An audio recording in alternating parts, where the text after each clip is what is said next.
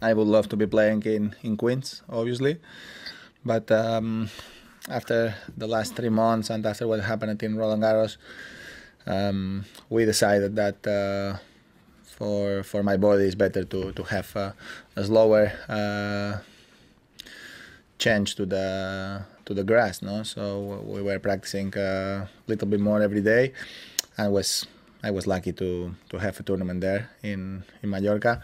My motivation is always high in all the events that I play. If not, I am not playing, and. Uh, you can imagine that always playing here in Wimbledon for me have been very very special. It was um, one of the biggest goals that that I have when I start to, to have success in this sport. That uh, play well in this in this tournament.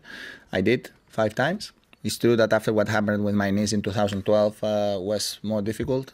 Uh, at the same time, it's true that uh, in 2014 I played a good event. I lost in the first round against Nick, but I had my chances too. Hmm. After that, last year I couldn't play, and 2015 was not my year, of course. So uh, let's see what's going on this year. I know uh, it's always difficult. I am excited to be playing again here. It's a tournament that I really love and uh, I really enjoy playing.